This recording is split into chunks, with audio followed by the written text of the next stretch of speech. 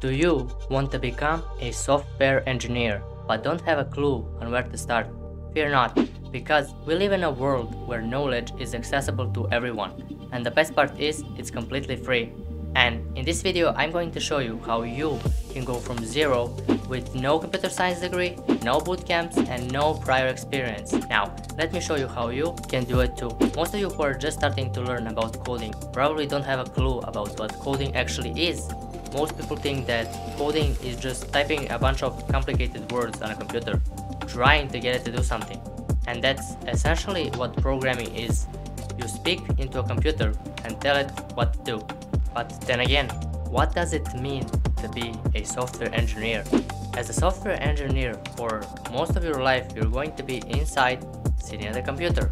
Now, that certainly isn't suitable for most humans. I mean, we weren't made to be sitting at a desk for 8 hours a day. So, before we even start, if that doesn't sound too enticing to you, maybe this career isn't the right one for you. And in this video, we're looking at the hard truths about being a software engineer and not just the highlights. Before we start, you must understand that in any job, especially in this one, there is a give and a take, good and bad, which brings us to the internal question. If being a software engineer is all good sunshines and rainbows, then why do most of those people who portray it like that end up quitting their job to do something else full time? In this case, YouTube or freelancing. People who truly enjoyed coding had a bigger picture in mind and accepted all the negatives and at the same time appreciated all of the positives that the job brought them. Because for these people, it wasn't just a job, it was their whole career, their future. They saw it as being a part of something much bigger than themselves and it's why they never quit. When it comes to being a software engineer as a whole, most YouTubers portray it like eating, typing, eating, typing, eating, meeting, eating. And on the surface, it's all generally positive because they know that if you're to finish watching that video to the end, they have to hide or cover up the things that might make you click off the video.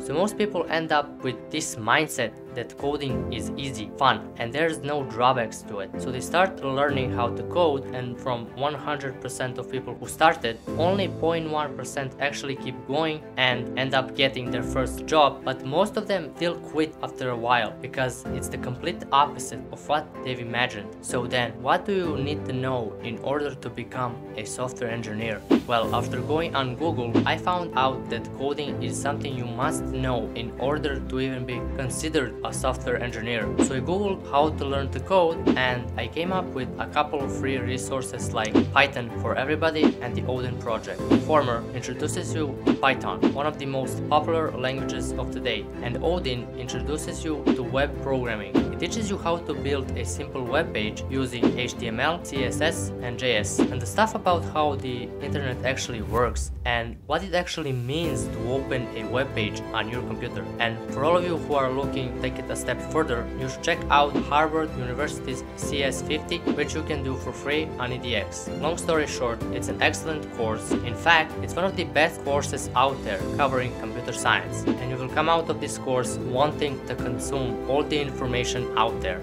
But before you decide to jump the bucket, understand that CS50 is hard. Coding in general is hard. The thing is, you need to like working on difficult problems.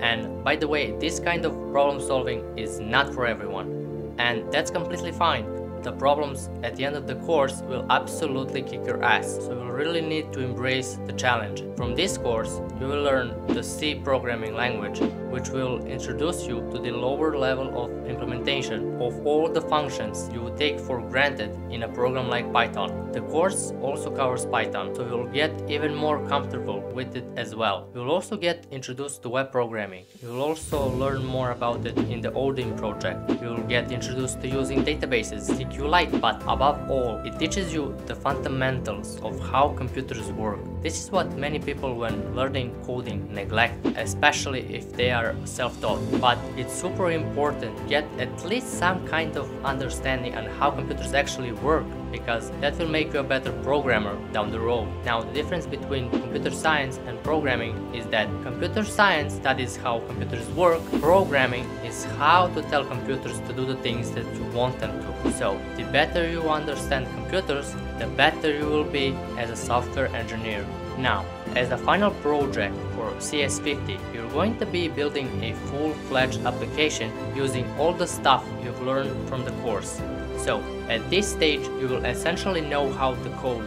You will be able to build simple things. It's going to be a struggle, but you will have the understanding what it means to build a front end of the website and what it means to build the back end of the website. You will know what sort of languages are used for all of this to actually go and connect the front and the back end using a framework like Flask, which is an app you will use in the course. But if you want to get even better at web programming, you take the CS50's follow-up course. CS50 is web programming with Python and JavaScript and this course is essentially the continuation of the already exciting and engaging style of CS50 but it's even more focused on web programming specifically rather than computer science as a whole. Warning, this one moves at an even faster pace than CS50. CS50 is already hard but the continuation is even harder. Pretty much every single week you're gonna be building full-fledged web applications this time using the Django framework. It's really going to push you to get better, but the great thing is that every single week you're building an actual application, which you can then put on your portfolio later to apply for jobs. Again, they're simple compared to what you could build if you've been a software engineer for a long time, but still, for entry-level jobs, they don't really require that elaborate stuff. Now, you might be asking, well, how long is this going to take? If you put in couple hours each day, it should take you around 4 to 6 months depending on your overall understanding of the course. But if you're not able to learn every day, that's fine. If you can only manage it a couple times a week, it should take you around 8 to 12 months to finish it. And again, it all depends on you. Once again, when I say that you will learn to code, I don't mean that you're going to become a master or anything like that. What I mean is that you will know enough to build simple things and get your foot in the industry and hopefully get your first job.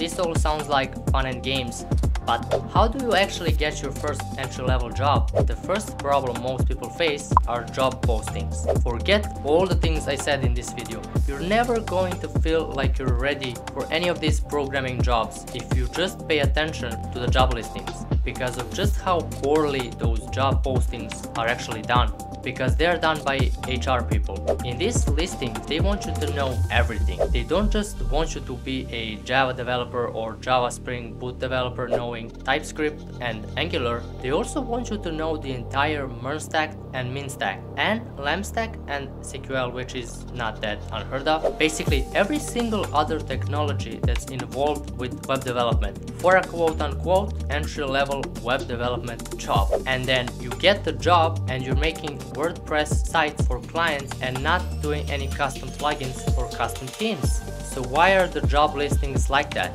Probably because the HR person asks what's their position, goes on Google and searches what do developers need to know. And they see them having all these skills and you know they want the best. So they just take all of them and plop them on their job listing.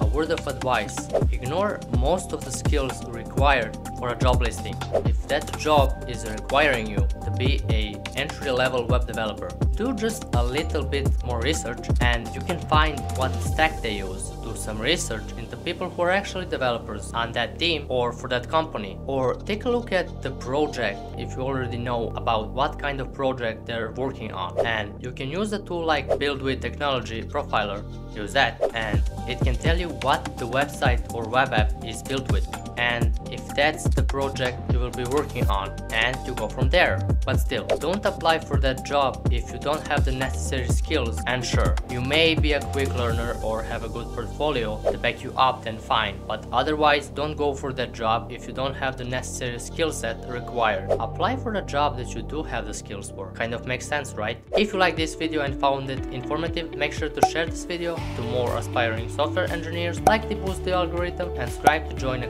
community of like-minded people.